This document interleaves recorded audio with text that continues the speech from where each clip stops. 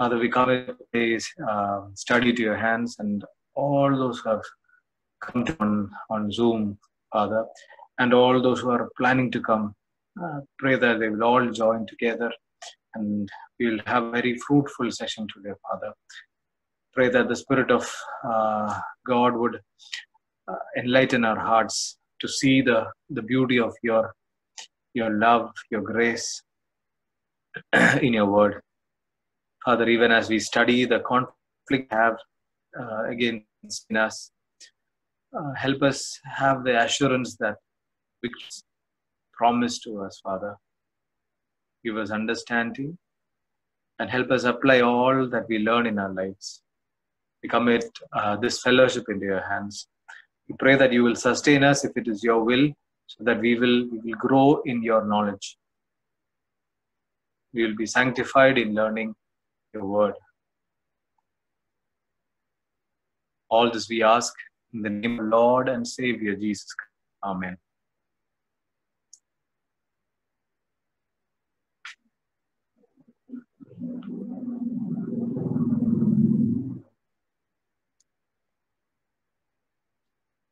So, uh, once again, um, good evening and welcome. Probably this will be the last uh, session on Romans 7. So, we took three sessions, and this is the third.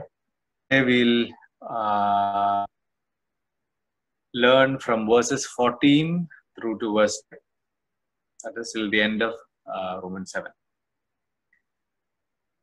And as an introduction, I would like to go uh, into some of the things that we have learned last week. Especially, uh, we have learned, we have we have sketched through um, how Paul was teaching uh, the law right from chapter three onwards. Paul's exposition on the law from three onwards. We learned what the law cannot do for us. The law cannot justify us Paul was teaching what the law cannot do with us. The law sanctify us. We learned that in chapter 6. Paul taught what the law cannot do to us. We learned that in Romans chapter 7, verse 1 to 6, the first session on Romans 7. The law cannot condemn us.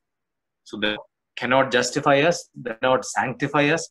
The law cannot condemn us, Last week, from verse 7 to verse 13, we learned what the law can do for us. What was that? The law can convict us of our sin. The law gives us the knowledge of our sin.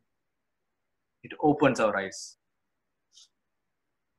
What the law cannot do in us, that is what we're going to learn today. What the law cannot do in us, namely, or cannot deliver us the indwelling sin that is in us. Romans 17 to 25. And finally, probably God willing, next week, Romans 8 1 to 4, we learn what the law do, how God fulfills that as we walk in the Spirit, the law being fulfilled in us. Shall we read um, today's uh, text, verses 14 to 25 of Romans chapter 7? For we, the law is spiritual, but I am of the flesh, sold under. For I do not understand my own actions. For I do not do what I want, but the very thing I hate. Now, if I do what I do not want, I agree with the law that it is good. So now it is no longer I who do it, but sin that dwells in me. Verse 18 For I know nothing good dwells in me, that is, in my flesh. For I have the desire to do what is right, but not the ability to carry it out. For I do not do the good I want, evil I do not want is what I keep on doing. Now, if I do what I do not want, it is no longer I who do it, but sin that dwells within me. Verse 21. So I find it to be a law when I want to do right, evil lies close at hand. For I delight in delight in the law of God in my inner being. But I see in my members another law in war against the law of my, of my mind and making me captive to the law of sin that dwells in my members. Wretched man that I am, who will deliver me from this body of death? Thanks be to God through Jesus our Lord. So then I myself serve God with my mind, but with my flesh I serve the law of sin. It was the text for today. We have a little bit more of introduction coming as we have been doing lately. Initially, we saw how Paul was teaching, uh, Paul's teaching regarding the law. Now, let's go back um, to Romans chapter uh, verse 1 on right through and 7 verse 6 you know we learned we are a new creation. We have i don't want the I, I don't want the verses now we learned we are a new redeemed we have a new redeemed self we have a new nature. We are no more slaves we are uh, we have freedom from the mastery of sin. In romans 7 we learned we are dead to the law.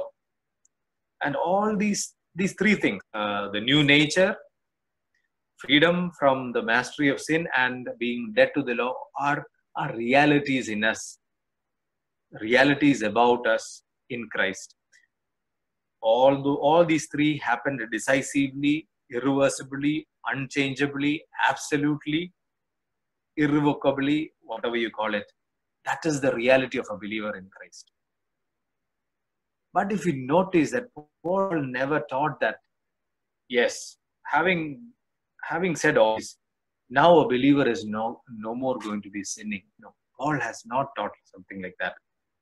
Paul has never taught that we will be from all sinning once justified. Nor uh, has Paul taught that you know a justified person will will grow into a level of sanctification and thereafter he will he will no more sin. No, even Paul has not taught that. That is one teaching that has been prevalent. That uh, after conversion we grow in salvation, and there is a second unction of the Holy Spirit, and thereafter we'll be fully sanctified, perfectly sanctified, and we will not sin. And the people who uh, hold on to that unbiblical view, they, they claim that Romans 7, verse 14 to 25 is Paul's pre conversion experience. But when we study this text today, we will clearly understand this is Paul talking about himself as a believer, in fact, as a mature Christian. So, rather, uh, Paul is giving, we, when we look into Romans 6, even though it is, it is full of teachings like you are a new creation, uh, you are no more slave, you know, there are verses that, that uh, indicate Romans 7 in Romans 6. Uh, verses like 12 and 13. Shall we read Romans 6, verse 12 and 13? Um, Romans 6, verse 13. Paul says, Let not sin therefore reign in your mortal body, you obey its passions. You know, Paul has just said that you are a new creation and the old is dead. You are dead to sin. But then Paul says, gives a warning do not let sin reign in your mortal bodies and make it make you obey its passions. Verse 13, do not present your members to sin as instruments of unrighteousness. So Paul is indicating the possibility that we send our members to sin. And Paul is giving a strong warning in chapter, which sounds like a very victorious chapter. And Paul is actually giving a hint of what is to come in Romans chapter 7. And in Romans chapter 7, and uh, in fact, in, in 1 Timothy verse 115, when Paul says, I am the chief of all sinners, you know, Paul is writing that because Paul is writing from his experience as a Christian, where he has this con- conflict with the sin in him. And in Romans 7, verse 14 to 25, as we have read, Paul is uh, explaining this this reality of a Christian, this reality of already but not yet. I want all of us to keep this in mind. You know, this is a Christian reality that is applicable to a lot of factors. Already but not yet. Already we are victorious in Christ. We are a new creation. Already, decisively, unchangeably, irrevocably, we are no more slaves. We are victorious. We are new creation. But not yet perfectly and fully in an experiential way. Already, but not yet. That is the reality in which we live in this present, uh, in this phase of our Christian journey. And that is what Paul is describing in Romans 7, verse 14 to 25. And the reason is, is the indwelling sin, the flesh, the fleshiness that remains in us. Okay. Also, we need to look into the change of tense. I think I have mentioned that last week. Uh, verses 7 to 13, this is all in past. And verse 14 onwards, the tense changes to uh, the present tense. So in Romans uh, 7 to 14, Paul is in fact looking back into his uh, conversion experience where he is describing that the law is a good. That was Paul's agenda in the last. You know, law is not the reason of all the death and sin that is there. This, the culprit is sin. That is what we have learned. And to make that point, Paul is uh, using his own experience in his past when he came to Christ. The law enabled him to see his own sinfulness. So that was in the past tense. Now he is describing the present conflict of a Christian. And he is again using his own life experience and he writes it in the present tense. Again, that is a major uh, argument against the, the wrong teaching that this is the conversion experience of Paul. So there are a lot of this this this this section of Romans 7, verse 14 to 25 uh, is a very uh, controversial one in the sense. Uh, I think when we study it in the context and when we rightly understand it, there is no confusion there. But sadly, there are misunderstandings on, on regarding that portion. That there are people who say that Paul is looking back and talking about conversion days. But there are verses that clearly suggest a believer cannot think like that. And there are people who say that this is the converted Paul, but the carnal Paul. You know, they create an artificial category of carnal Christians, which is totally unbiblical. There are a lot of uh, uh, Bible teachers that hold on to that. You know, you, you are a sinner, then you become Christian, then you then there is a period of Christianity. No, if you are carnal, non-Christian, simple. Bible doesn't have a category of carnal Christian. And then you have this uh, special anointing of the Holy Spirit, the second filling of the Holy Spirit, as they call, which is unbiblical. And they say you reach a perfect level of sanctification. So they write, they say this section of Romans 7 is the carnal Christian Paul talking. But uh, I believe that is unbiblical, and let's move forward. So that that is the argument tense in this text. Moving on, um, there are three major arguments Paul is uh, bringing out in this text, verse 14 to 25. The first thing, the first point is uh, again a continuation of Paul, Paul has been describing. Paul is continuing to argue for the goodness of the law. You know, verse 14, Paul said, the law is good, righteous, holy. And now Paul further continues. Uh, last week we learned when Paul was saying the law is good in that it brings, it gives us the conviction um, and in verse 14 to 25, Paul is, uh, through the illustration of this conflict, Paul is also continuing his uh, argument for the goodness of the law experience. You know, he, he gives a personal account of the law. Verse 14, Paul says the law is spiritual. Verse 16, Paul says, I agree with the law that it is good. Verse 22, he says, I delight in the law of God. Verse 25, he says, I serve the law with my. So Paul is again in that theme of uh, teaching that the law is good and the culprit is sin. So that is the first thing, uh, not the major uh, theme of the chapter.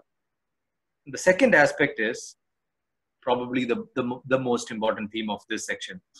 Paul argues for the reality of the indwelling sin that remains in a justified person. A justified sinner, that is a child of God, will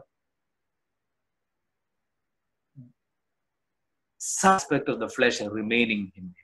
And Paul calls that the indwelling sin, the sin, the sin that dwells in me. 17, 20, 23. Paul is talking about this, the reality of the indwelling sin. So that is the second main theme. In fact, the most important theme. And the third uh, argument of Paul in this section is Paul argues that a Christian is not only by the indwelling sin. The indwelling sin is not what is not that defines Christian.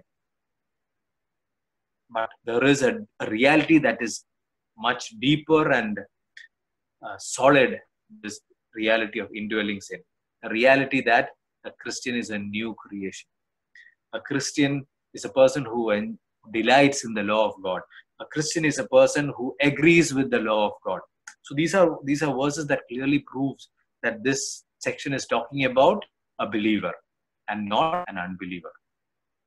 Uh, we learned that in the, in the, in the as we verses. And Paul is saying, in Christ you are already uh, decisively, unchangeably perfect, free from sin. But at the same time, you have this conflict with the remaining sin in you, the indwelling sin in you. And that is the essence of this chapter, the three major arguments section. And before finally, quick before going to, through the verses um, proper, uh, I want you to appreciate the tone of this section. You know, this this section, verse 14 to 25, is in fact Paul's desperate cry. It's a desperate cry of, uh, it's a cry of a desperate man. You know, there are three laments, each having three parts. You know, uh, each uh, beginning, the first beginning um, from verse 14 through to verse 17 is the first lament. It has three parts. Then the second lament of Paul. The first one starts with the word for, the second again with the word for, lament of Paul. And third one beginning in verse 21, similarly beginning with the word so. And verse 24 is the, is the culmination of all those cries. Oh, wretched man that I am. And what are the three parts of these laments? Three cries from Paul's desperate heart, each having us. It begins by Paul describing the condition of his heart, the problem of that is under discussion, problem that he is facing. Then Paul goes, uh, Paul goes on to explain the proof of that condition. You know, why is he saying that that is his condition? Then finally he gives the reason of this condition, the source of this condition, the cause of this condition. Um, and again, because it is beginning with the word for, we can be sure that continuation of what Paul has been teaching. So, with that in background, uh, let's move into the verses. Three laments, each having three three parts. So the first uh, lament is verse 14 to 17. Shall we read that? Verse 14 to 17. For we know that the law is spiritual, but I am of the flesh, under sin. For I do not understand my own actions. For I do not do what I want, but I do the thing I hate. Now, if I do what I do not want, I agree with the law that it is good. So now it is no longer I who do it, but sin that dwells within me. Uh, can we have the verses there on the screen itself? The three parts of this lament. Verse 14, Paul describes the condition of his heart.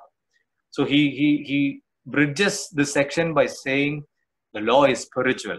I've been continuing to ex, uh, explain that the law is good, and, and he contrasts his, he contrasts it with his, his own life. He says, "But I am of the flesh, sold under sin."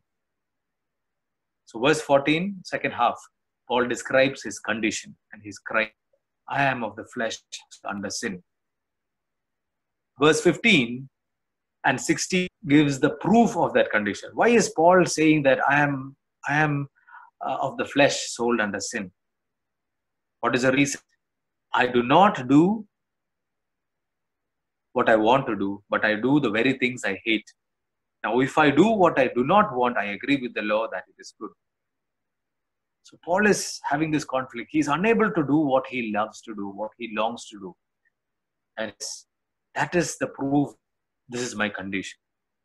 And finally, in verse 17, Paul describes the reason, the basic reason. Why is this so? Verse 17 begins by the word so. Now it is not I who do it, but the sin, but sin that dwells within me. Okay, coming back. Let's let's learn that a little bit more in detail. Uh, the, the verses may be taken uh, away from the screen. So Paul says the law is spiritual. In the last sections, the last uh, portions of Romans 7, we have learned Paul teaching that the law is good, the law is holy. Verse 12, the law is righteous. Um, and Paul is continuing that. And he says, he contrasts it by saying, But but I am of the flesh. I am sold under sin. You know, this one verse is used by those uh, people who teach that Paul is not a believer. Know, Paul is talking a pre-conversion. How can a believer, how can a, a regenerate Paul say that he is of the flesh or he is sold under sin? Because in Romans 6, he has just taught that we are free from sin. But I want uh, you to understand that this, this is like Paul saying, I am the chief of all the sinners that is not a technical statement. You know, Paul is not measuring all the sins of all the people and he is now giving the verdict, chief of sinners. No, it is a perspective of Paul that is being displayed. Similarly, Paul is saying, Oh, I am of the flesh. I'm, it's like I'm sold under sin. You know, I'm fed up of this. I'm sold under sin. And in verse, the proof is in verse 17, he moves from the, the perspective uh, language to the technical language. Verse 17, he says, Now it is no longer I who do it, but sin that dwells in me. It is no, no, it is no longer the flesh, it, the sin that is in me. It is no longer I who is sold under sin, but it is the sin that is in me. And what is the reason? Let's look into verse 15 and 16. Paul's reason, Paul's proof in, in, in that uh, in that verse in in putting that verse 14 like that paul says i do not do what i want to do but i do certain things i don't want to do. Let's look uh, three phrases. I want to do certain things. I hate to do certain things. So in fact what is what paul is saying is uh, you know i love to do certain things. I hate to do certain things, all in agreement with the law. But I don't have the ability to do that. Somehow I'm not able to do the way I want to. And Paul says, What is the reason? It is the reason is no longer I, but the sin that dwells in me. Go back again to verse 14. Let's dwell on the word flesh for a moment. You know, Paul says, I am of the flesh. You know, the word flesh is used uh, in, the, in the New Testament in two ways you know, first uh, it is used in a neutral, amoral way, and not an, not in the immoral way, but the amoral way, in a neutral way. Uh, you know, when when the when when New Testament says in John chapter one, the Word became flesh. But now, as we are in Christ, once we are in Christ, you know, our nature, our the core of our being, the real us is not defined by flesh it is made new it is a new creation but the fleshiness remains in us know, we carry over the humanness, the unredeemed humanness that we had. We have been living for years with us. And also, let us not uh, think that flesh, the word flesh means the physical body. No, it is not restricted to the physical body. It, it, it indicates the, uh, I would like, the phrase I would love the best, I mean, the most to, to describe that is fallen. You know, that fallenness is there in the flesh, it is there in our thinking, it is there in our emotions. So it is not in our in our physical body, but rather the fleshiness, the remnant of the flesh is the, is is coloring or is uh, scenting the whole of our being. But remember, the core of our being, the S, not flesh. We are a new creation. I hope uh, uh, you're getting it. The S is not defined by flesh, but the fleshiness remains. That is why Paul is saying, it is no longer I who do it. I in me is free of all this, is a new creation. But this flesh is remaining, and that flesh is causing me to do this. The real I, the proof of what is the proof of this real I? He loves to do certain in agreement with the law. He do certain things in agreement with the law. You know, that comes only from generated person. An unbeliever cannot do that.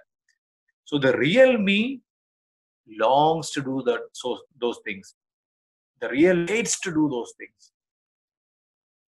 But the sin is still dwelling in me and I am not able to do that the, the way I want to. So that is the first uh, lament. Is that clear? Can I move forward? Yes. So the second uh,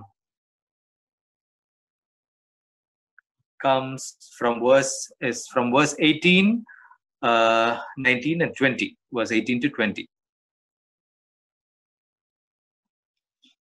And before going uh, into that, I want uh, all of us to look into this word and this phrase in verse 17. Paul is saying, It is no longer I. Uh, let's think about the phrase no longer I. What does that indicate? That means I once upon a time it was I doing all the sin. It is I right now. That is a clear proof that this is the believer Paul talking or else there is no uh, meaning in the word no longer I. When Paul says it is no longer I, is saying, he is saying once it was I, and no longer it is I. Are you getting that? Again, a strong evidence that Paul, this is Paul talking about the reality of uh, himself as a believer. Okay, verse 18 onwards. Verse 18 to 20, the second lament. For I know that nothing good dwells in me, that is, in my flesh. For I have the desire to do what is right, but not the ability to carry it out. For I do not do what I want, but the evil I do not want is what I keep on doing. Now, if I do what I do not want, it is no longer who do it, but that dwells within me. Again, very similar to the previous structure. Again, three parts. Verse 18 to 20 is the second lament. The first part is the Paul describing the verse 18. For I know that nothing good dwells in me. Again, perspective. Paul is saying, it is not that Paul is technically saying, there is nothing good in me. No, Paul has the Holy Spirit. Paul is a new creation. All those things are there. But he's it's all about perspective, as I previously said, just like Paul's the chief of all sinners. He's saying nothing good dwells in me. Then he becomes technical. That is in my flesh. For I have the desire to do what is, but not the ability to carry it out. And, and that is verse 18, second half, and verse 19. Paul is describing the proof of the condition. I do not do the good I want. That means hey, deep in me, the me wants to do good, but, but I do not do. Deep inside, I do not want to do the evil, but I keep on doing that.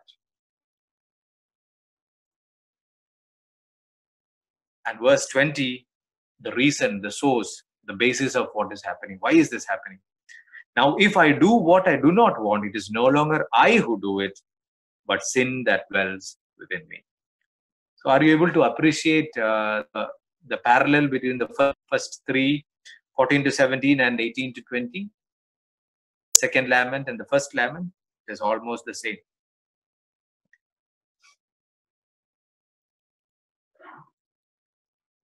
Moving on to the third lament, verse 21 to verse 23. Verse 21 describes the condition. Verse 21. So I find it to be a law that when I want to do right, evil close at hand. That is Paul describing his condition. You know, when I want to do something, evil is so close to me. Evil is evil lies close at hand. And verse 22 and 23, the proof of the condition and the reason for the condition, Paul is uh, mixing it up together. For I delight in the law of God in my inner being, but I see in my members another law waging war against the law of my mind and making me captive the law of sin that dwells in my members. Let me read, read that again, verse 2. For I delight in the law of God where in my inner being. But what problem? Verse 23 But I see in my members another law waging war against the law of my mind and making me captive to the law of sin that dwells in my members. So that is the proof of the condition and the cause of the condition all mixed up. And Paul saying, Paul is saying, you know, deep in me, there is this principle, there is this law that makes me makes me desire God's word, makes me delight in God's word. But there is another principle working in me, not simply working, waging war. So there is a conflict there. The conflict is between the law of God in the inner being. Paul also calls it the law of in conflict with the law of sin waging war in the members. So this flesh in conflict with the law of God, the principle that uh, the law of God, the principle uh, that helps, that makes Paul delight in God's law. You know, Paul has been laboring to explain this one point thrice using three sets of laments. Are we able to apply? I want to uh, there are uh, two illustrations which uh, I, I love. these are not created by me. I've read from elsewhere. you know, that will help us understand the the the destiny that Paul is undergoing. Uh, and through it, we need to realize, we need to check, we need to search our hearts. Do we share that conflict in in, in our lives? Um, think about a painter. You know, this painter uh, this being he has this beautiful vision of all the colors and glory and all the, the universe you know he has all the color concepts in place. Uh, he has all the shades and the theories and the everything in place. But he doesn't have the skill to put it on canvas. There is something in him that is preventing in in in putting it in drawing in sketch in paints giving flesh to it. So he takes his uh, color, tries to draw that beautiful mountain in his, probably in his mind. And, and what comes out is far from beautiful. And, and he has this, con- he knows what it is, what has to be done, he knows, but he is unable to do that. You know, that is the conflict. You know, Paul, when Paul says he is, he, he doesn't have the ability to do it, it doesn't, he, he's not saying that uh, nothing he's not doing any good at all no what paul is saying you know when i look into god's law delight in god's you know my whole horizon of beauty and bliss changed and i am unable to keep up with that. And that is paul's struggle because this the sin is still on i'm not totally free from sin. Uh, another um, illustration would be, you know, once a preacher was, um, once this uh, this preacher was famous for his preaching. He he continuously preaches on sin, the weight of sin and the heaviness of sin. And this uh, this unbeliever comes to this preacher and says, "Hey, keep on preaching about the weight of sin. I don't feel any weight. What are you talking about? Is is your sin five kilo uh, in weight, or or ten kg, or hundred kg, or two hundred kg? What are you talking about?" And the the preacher paused for a minute and he said, "You know, you take a 500 kilogram weight and put it on top of a dead man." the dead will not feel any weight. And it is because we are alive, we have this new creation, we feel this conflict, we feel the weight of sin. And shall we read Psalm 19, verse 104? Psalm 119, verse 104.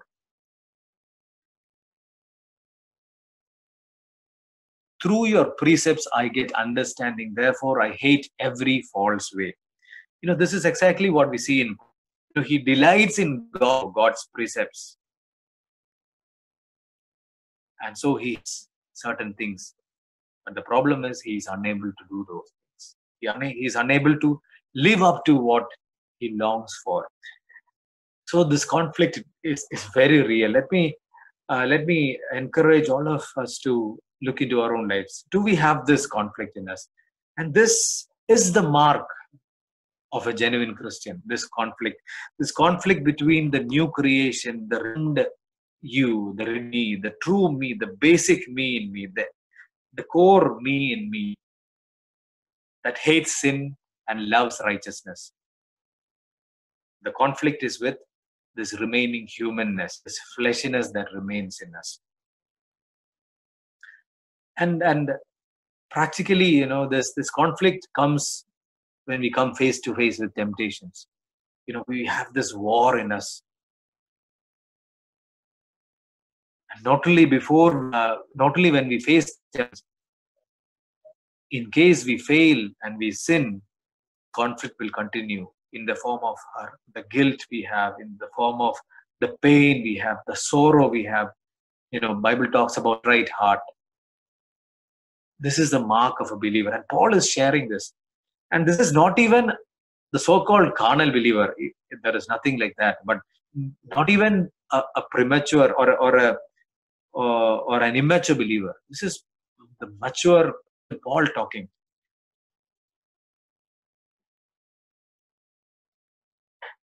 Share this conflict in our life. Do we have this conflict?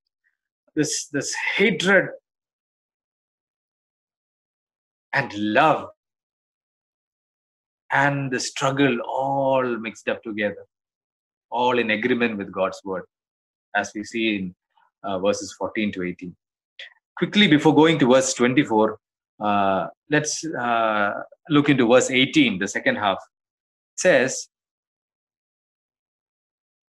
For I have the desire to do what is right, but no ability to carry out. You know, uh, Paul is saying, I don't have the ability to carry out. Does it mean uh, believer always fails in his in his fight against sin, or a believer always uh, fails in his fight for righteousness? No, it doesn't mean that. You know, Paul is writing about his inability to do uh, to the extent his heart is longing for. In verse 22, we saw he, his heart is delighting in God's law and he has this standard before him the the law of god which reflects the character of god himself.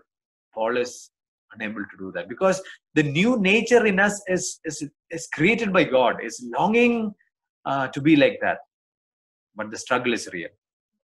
So this is again a christian reality and as we progress in our sanctification we, we develop greater to sin and a need for righteousness but the sin remains, hence the conflict remains. You know, we, we might get over certain sins, we might be victorious in certain areas, then we become more sensitive to other areas of sin in our lives. The conflict continues. You know, if in our life we are not sensitive to our sins, we don't have this conflict, I think we are in danger. We might be too much desensitized to sin. So that is one caution that uh, this text is giving giving us. And uh, again, before verse 20, uh, going to verse 24, let's look into verse 21, the second half. Uh, it says, So I find it to be law that when I want to do right, evil lies close at hand. This is again a Christian reality, the reality of a believer. You know, evil lies close at hand, battling us, fighting us, you know, battling every thought, battling every act of ours, battling every motive of ours, battling every intention of ours, battling every word that comes from our mouth, every deed, every act.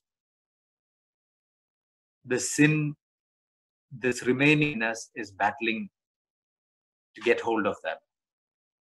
It is very close. We know that even when we when we are about to do the most sanctified of all things, maybe prepare for a sermon,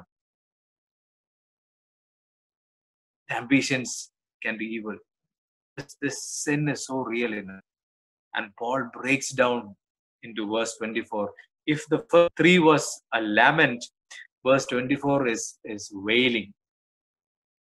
You know, a wail that exceeds all those laments. Says, Wretched, wretched, wretched man that I am. Who will deliver me from this body of death? Wretched man that I am. Who will deliver me from this body of death? You know, the uh, old uh, Bible commentator by name Robert Haldane, he says, this is his uh, men perceive themselves to be sinners in direct proportion previously discovered the holiness of God and His law. Let me repeat men perceive themselves to be sinners in direct proportion as they have previously discovered the holiness of God and His law. The more we understand the holiness of God and His law, the more we perceive ourselves as. The sin reality becomes more ugly and tormenting, and we, you know, this this wretchedness comes all the more.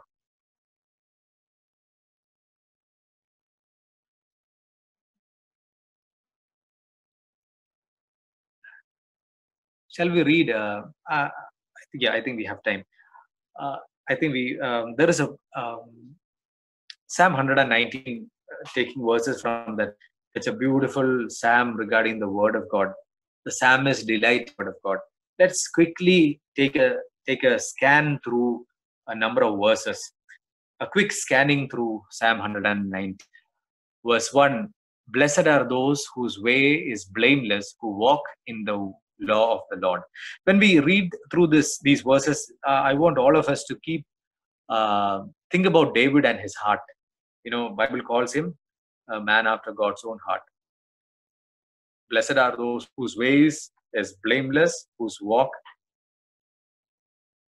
in the law, who walk in the law of the Lord. Verse 2 Blessed are those who keep his testimonies, who seek him with their whole heart. Verse 9 How can a young man keep his way pure? By guarding it according to your word.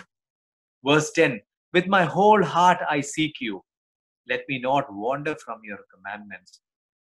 Verse 11 I have stored up your word in my heart that I not sin against you. Lord, the way of your statutes. And I will keep it uh, to the end. Verse 33. Continuing, verse 57 the lord is my portion promise to keep your words you know when we when we read this you know we think oh what a holy man what a righteous man what a sanctified man verse 97 oh how i love your law just my meditation all the day what a perfect man 143 anguish have fun, but your commandments are my delight even in the midst of trouble and anguish this man is delighting in God's commandments. What a man of God. And, and very notably and interesting, the last verse, verse number 173. I don't know how many of us have noted this verse. It ends in a totally different way. It says, David says, I have gone astray like a lost sheep. Seek your servant, for I do not forget your commandments. I have gone as a lost sheep. I believe this is uh, an Old Testament parallel of uh, Romans uh, chapter 7, back to Romans 7. You know, just like Paul here, David, he delights in slow. He is he is fighting the spiritual battle of keeping the commandments. But it is no longer I who do it, but the sin that dwells within me. I hope we are able, we all of us are able to uh, appreciate the parallel that is that we see here. And Paul is out, wretched man that I am, verse 24. Shall we again go to another Psalm, Psalm 38, a few verses?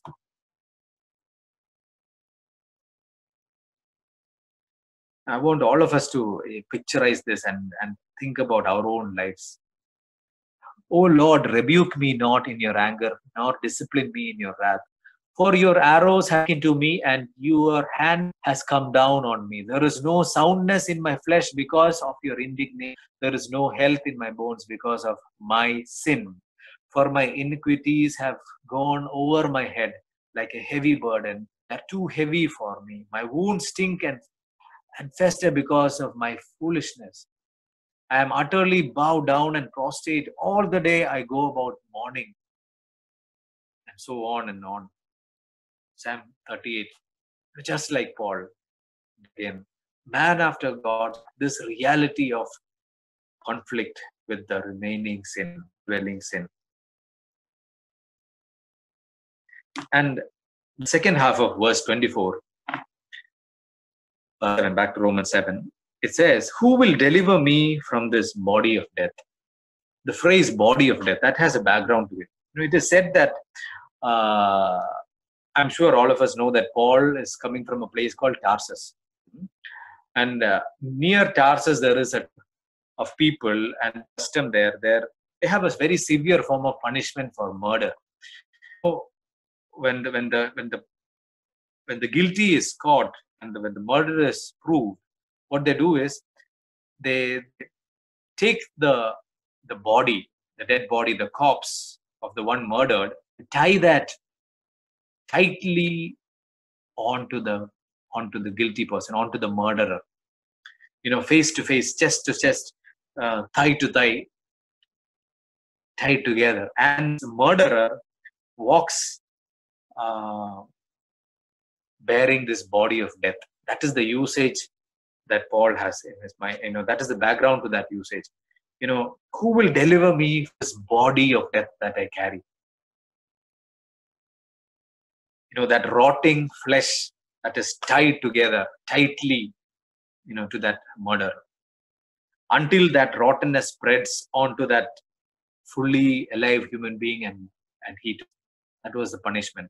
And Paul is saying, Who will deliver me from this body of death? And Romans 8, I believe, is, is Paul's formula for victorious Christian, or Paul describing how and when and where we will have this victory. Shall we quickly go on to a few verses? Uh, Romans 8. Paul is asking, where, where will we have deliverance? Who will deliver us? Romans 22 and 23. For the whole creation has been groaning together in the pains of childbirth until now. And not only the creation, but ourselves, who have the first fruits of the Spirit, grown inwardly as we wait eagerly for adoption as sons, the redemption of our bodies. Let's read verse 23 again. Not only the creation, we ourselves are groaning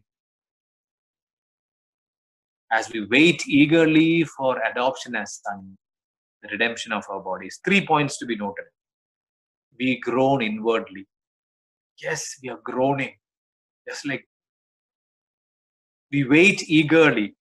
Again, verse 23. For what? For the redemption of our bodies. the inner man, the, the core being of us need no redemption is already removed, already redeemed. But our, our flesh, the body that we carry, the body of death that we carry, that is fleshy, needs redemption.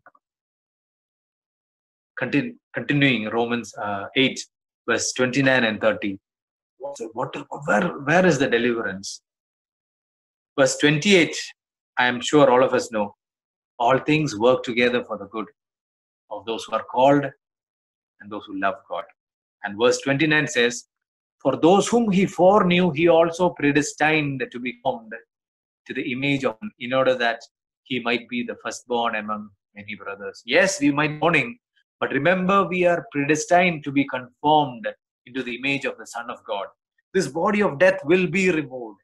And verse says, is is stretching all through history even before the foundations of the world we were predestined and says and those whom he predestined he also called those whom he called he also justified and those whom he justified he also glorified. Paul is not saying will be glorified. Paul is so sure he says is glorified.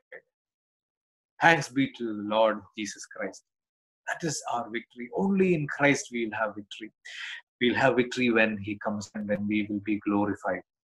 Uh, a few more verses and we'll close for today. First Corinthians chapter 15. First Corinthians chapter 15, verses uh, 42 onwards. So is it so is it with the rest of the dead. What is so is perishable, what is raised is imperishable. It is sown in dishonor, it is raised in glory just Paul is talking about this body of death, sown in honor, but it will be raised in glory. It is sown in weakness, it is raised in power. Verse 44 it is sown a natural body, it is raised a spiritual body. If there is a natural body, there is also a spiritual body. Verse 51, continuation of the same, verse 51 to verse 57. Same chapter, verse 51 57. Behold, I tell you a mystery. We shall not all sleep, but we shall all be changed. In a moment, in the twinkling of an eye, at the last trumpet, for the trumpet will sound, and the dead will be raised imperishable, and we shall be changed. Who shall deliver me from this body of death? We shall be changed. For this perishable body, verse 53, must put imperishable, and this body must put on immortality. When the perishable puts on the perishable and the mortal puts on immortality, then shall come to pass the saying that is written Death is swallowed up in victory. O death, where is your victory? O death, where is your sting? Verse 56. Verse 56, please. The sting of death is sin, and the power of sin is the law. I hope you are getting with Romans. Of death is sin, and the power of sin is law. Whereof death is. But thanks be to God who gives us victory through our Lord Jesus Christ. Just like verse 25 in Romans 7, 7 in 1 Corinthians 15. But thanks be to God who gives us victory through our Lord Jesus Christ. And verse 58 says, Therefore, my beloved brothers, be steadfast, be immovable, always abounding in the Lord, knowing that in the Lord your labor is not in vain. You this conflict that we have is not in vain. Let us be steadfast in our faith. And meanwhile, verse coming back to verse 25. What is Paul saying? Thanks be to God through Jesus Christ. We will have the victory. But meanwhile, I'm meanwhile there. So then I myself serve the law of God with my mind, but with my flesh I serve the law of sin. Paul is saying, Yes, I will have victory when Christ comes, when I will be glorified. But until then, I will live a life in Christ and also in this body of death, bearing this body of death. I will fight. I might fall, I will not give up my fight. I will get up, will repent. I will fall on to the gospel that saved me. That's my only hope. I will cling on to Christ who justifies me. The justifying work of Christ, I will go back and hold on to. And I will continue my fight with the power that He gives through the Holy Spirit. And more of that fighting and overcoming sin to come in, in the subsequent sessions of Romans 8. And let this reality, uh, you know, learn today, let it, uh, you know, we should not take it as a license to say, oh, the sinner, why fight? No. If we think like that, we don't have the, the real I in me is not. Let's let's fight because we have victory in Christ. May the Lord bless us in our in our, our spiritual warfare. Shall we shall we bow down and close our eyes? Father, thank you and praise you for your word.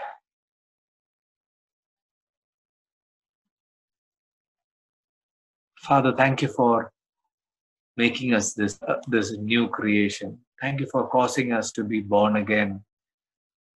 Thank you for putting your spirit in us so that we able to to resist the evil, to we will be able to resist the sin that is in us. We will be able to put up a fight. Father, help us not be people who give up, who surrender, seeing the glory of the enemy's territory, seeing the pleasures that is that we have uh, into the enemy. No. But rather help us be people who are gospel centered, who are God centered, who love certain things and hates things in agreement with the word of God. Help us be people who delight in God's law.